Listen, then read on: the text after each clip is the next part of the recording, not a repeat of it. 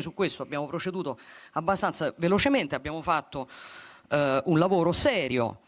eh, e ora l'obiettivo del governo chiaramente è una norma di riordino che ci consenta eh, intanto di mettere ordine alla giungla no, di, poi, di interventi, pronunciamenti che si sono susseguiti, che necessita ovviamente di un confronto con la Commissione europeo, europea per arrivare al duplice obiettivo, da una parte di scongiurare la procedura di infrazione e dall'altra di dare certezza agli operatori che è sempre stata una delle nostre priorità. E quindi questo adesso è il lavoro che noi stiamo facendo e che eh, eh, riteniamo sia a questo punto diventato molto importante perché c'è obiettivamente una difficoltà sia per gli operatori che non hanno certezza sul loro futuro